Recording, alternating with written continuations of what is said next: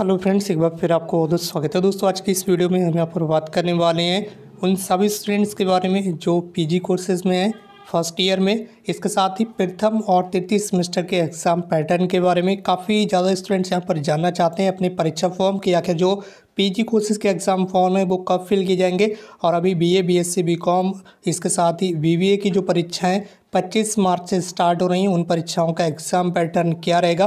तो मेरे साथ वीडियो में एंड तक बने रहेगा और अगर आप चैनल पर नए तो चैनल को सब्सक्राइब करके बेलाइकन ज़रूर से प्रेस कर लीजिए और इस वीडियो को अपने अदर फ्रेंड्स के साथ भी शेयर कर दीजिए। तो चलिए दोस्तों, आज की इस वीडियो को स्टार्ट करते हैं।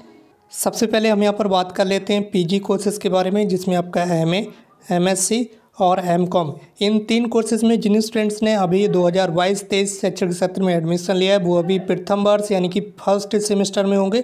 तो फ़र्स्ट सेमेस्टर की जो एग्जामिनेशन फॉर्म है, वो मार्च में ही जारी कर दी जाएँगे यूनिवर्सिटी की तरफ़ से। उसके बाद आप अपना जो एग्जामिनेशन फॉर्म है, उसे फिल करेंगे। उसके बाद जैसे ही आपके एडमिट कार्ड आएँगे एग्ज़ाम स्कीम आएगी, उसके आधार पर आप अपने जो एग्ज़ाम है, वो दे सकते हैं। ये यहाँ पर पीजी कोर्सेज़ के स्टूडेंट्स के लिए आपको जानकारी मिल गई। M A M S C M com के केवल और केवल प्रथम वर्ष, प्रथम सेमेस्टर के लिए। अब बात कर लेते हैं प्रथम और तृतीय सेमेस्टर के एग्ज़ाम पैटर्न के बारे में। जो परीक्षाएँ 25 मार्च से आपकी स्टार्ट हो रही हैं बीए, बीएससी, बीकॉम और बीबीए इन चार कोर्सेज के प्रथम सेमेस्टर और तृतीय सेमेस्टर की जो परीक्षाएँ स्टार्ट हो रही हैं इसके साथ ही प्रथम सेमेस्टर की वैक परीक्षाएँ भी स्टार्ट हो रही हैं। यानी कि जिन स्टूडेंट ने फ़र्स्ट सेमेस्टर का वैक एग्ज़ाम फॉर्म फिल किया है B A B S C B com B B A का, उनकी परीक्षाएँ भी 25 मार्च से स्टार्ट हो रही हैं। कुछ स्टूडेंट्स को जानकारी नहीं है तो आप लोग इतना सहयोग कीजिए, इस वीडियो को ज़्यादा ज़्यादा से कर दीजिए, ताकि उन स्टूडेंट्स को भी जानकारी मिल सके कि जो वैक एग्ज़ाम की परीक्षाएँ हैं, वो पच्चीस मार्च से स्टार्ट हो रही हैं। वही एग्ज़ाम स्कीम है जो रेगुलर के लिए है,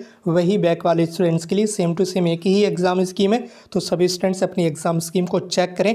बाकी बात करें अपने एग्ज़ाम पैटर्न के बारे में तो एग्ज़ाम पैटर्न वही रहेगा पुराना वाला, जो आपका फ़र्स्ट सेमेस्टर में था, जिसमें आपके सभी तरह के क्वेश्चन होते हैं, जिसमें आपके ऑब्जेक्टिव क्वेश्चन भी होते हैं शॉर्ट आंसर टाइप क्वेश्चन भी होते हैं, और लॉन्ग आंसर टाइप क्वेश्चन भी होते हैं, ठीक है? यानी कि आपका जो एग्ज़ाम होगा, वो रिटर्न एग्ज़ाम होगा, ये आपको अच्छे से समझ लेना उम्मीद करता हूँ आपकी जानकारी पसंद आई होगी। इसी तरह की और भी लेटेस्ट अपडेट के लिए आप हमारे साथ बने रहेगा मिलते हैं एक नई वीडियो में एक नई इन्फॉर्मेशन के साथ। Thank you so much for watching this video